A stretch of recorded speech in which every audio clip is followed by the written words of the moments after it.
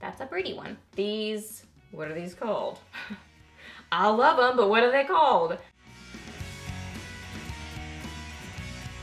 Hey guys, welcome back. So I got Friday favorites and fooeys for you today, and it's kind of a funny week of favorites, like as I'm looking at these here, because I've got some really high-end favorites this week and some really affordable favorites this week. So kind of the two ends of the spectrum, which is kind of how my collection looks. Like I've got, well, it's not as equal. I've got a little bit of high-end makeup, but I've got way more affor affordable makeup. Like I'm more of the drugstore, affordable makeup girl. That's my first love as far as makeup goes. So in my collection, it's way more weighted towards the affordable. But in these favorites, I got a little bit of both. And as far as what I was doing with my makeup, just kind of like girly neutral, like nothing super involved, you know, nothing really crazy or different, just kind of everyday girly makeup. So that's what we got to talk about, so let's get to it. The eyeshadow palette that I have been loving this week is this one right here. Now I did get this through Octoly, so this was sent to me, but I am obsessed with this palette. This is the Givenchy Shimmering Nudes palette. So this is what the outside box looks like because you know I hang on to boxes for some reason. So if you want to know what the box looks like, there it is. But the actual palette looks like this and it is so gorgeous and girly and fancy and just beautiful. I love the packaging on this. And it's also like a little bit Valentine's-y too because it's like rose gold, but then it has like a silvery sort of a tint to it. It's so pretty. It like catches the light. Oh my goodness. And even the little clasp is like fancy. So it just looks like fancy makeup, which just is fun and makes me happy. And then what you get in here is three different mattes and three different shimmery shades. So I do have this on my eyes today. Oh my goodness, every time I've worn this palette, I just love it because I love the shimmery shades. The mattes are really nice too. I wish this one right here is a little bit light for me. Like I can't really use it in my crease, so I have my um, bronzer in my crease. So that's what I've pretty much been doing. I tried this one, but it's just a little bit light. Um, but really like the standouts for me in this palette are the shimmery shades. Just let me like swatch them all for you because you just have to see them all. Now I did see somebody else show this in a video and she wasn't a fan of it, but I love it. I mean, love, love it. Uh, now these, this green one is not swatching at all, but I have that on my eyes and it's gorgeous on the eyes. So I don't know what's happening there, but um, I have been using it with MAC Fix Plus. I think I swatched the same shadow twice. I did. So this one is also swatched up there. So I swatched that one twice for some reason, but the shimmery shades, oh my goodness, swatches are not doing it justice. That's terrible. That looks like nothing, but that's the green. Trust me, I have it on my eyes. What I've been doing is using it with MAC Fix Plus and like a small flat concealer brush. These are chunky, glittery shades. So if you don't like chunky, glittery shadows, you will not be impressed with this. You'll think this is terrible. I hate this.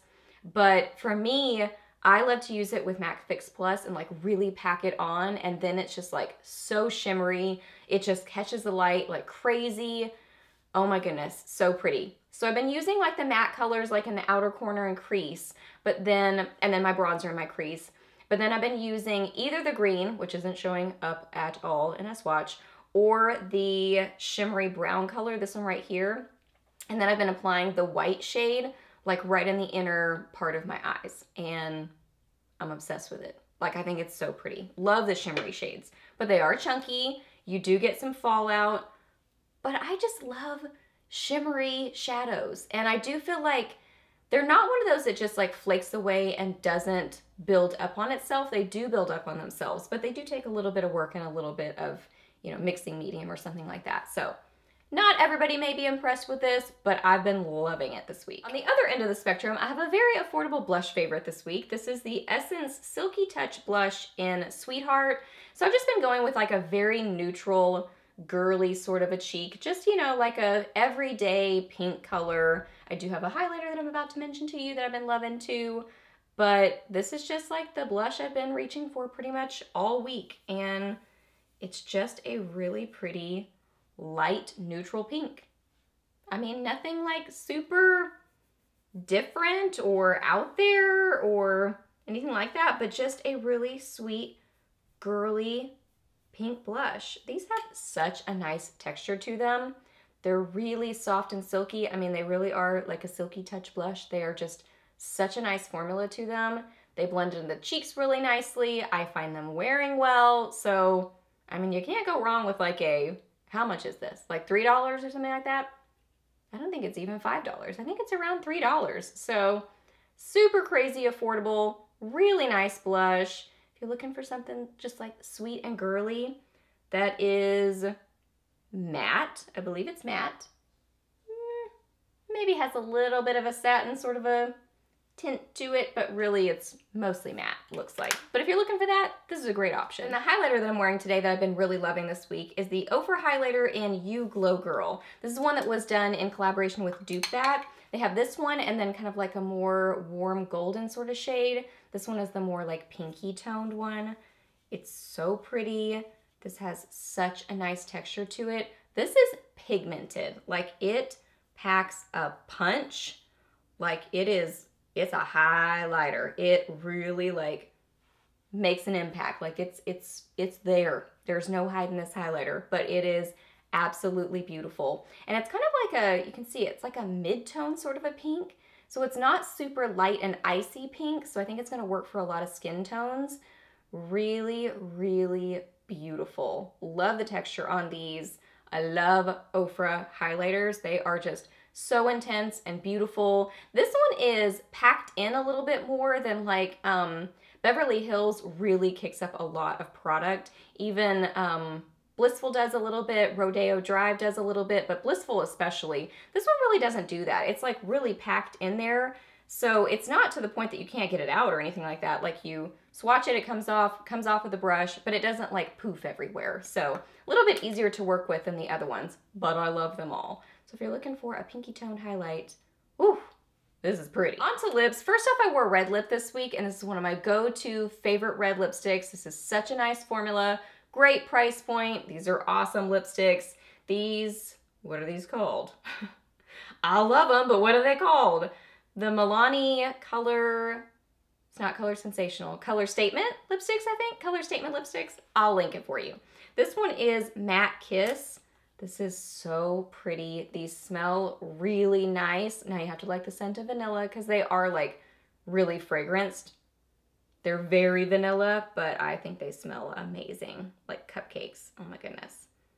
This is such a gorgeous, like classic red. It's kind of like a mid-tone red, but like, looks like it has a slightly like warm tone to it, just slightly more on the orangey side than like the berry, um, raspberry side or something like that. But look at that. So pigmented and creamy. I mean, it's like one swipe, you have color. I like these because they're really comfortable mattes, but then they set down. So they kind of like, I don't know, they just set. So then they stay really well, but they don't like, I don't know, they don't dry out your lips, but they don't move around. They're just easy, great lipsticks. So that is one of my go-tos. I feel like I just talked about this maybe like in the last couple of months, but I love it. It's like just one that if I want to wear red lip, this is one that I'm likely gonna grab for. And I wore this lipstick this week. This is one of my favorite things in my collection. It was one of my first like really high-end makeup products, but mainly I love it because Timothy gave it to me for Valentine's Day several years ago and we went and shopped together and he helped me pick it out. So I just love it. This is Chanel's Rouge Coco in 432 Cecile, and it's just a really pretty neutral color. Like it's probably one that, well, I was gonna say it might be dupable.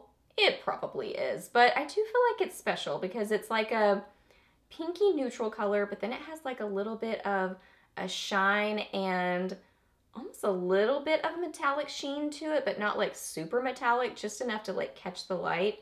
So, I mean, it's a beautiful everyday sort of color.